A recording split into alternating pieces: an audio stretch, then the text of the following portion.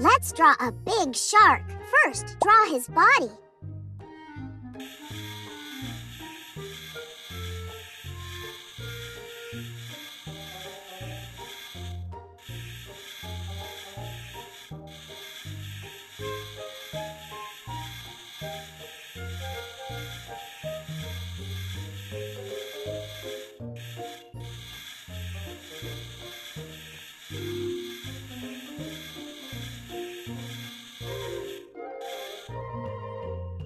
And now, draw a mouth full of teeth.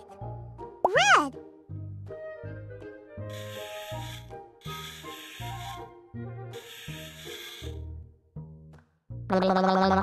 Now draw the upper fin.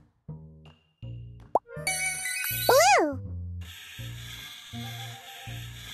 And the lower fin. Draw the shark's gills. Three stripes. And finally, two fins on the tail. You now have a fantastic shark.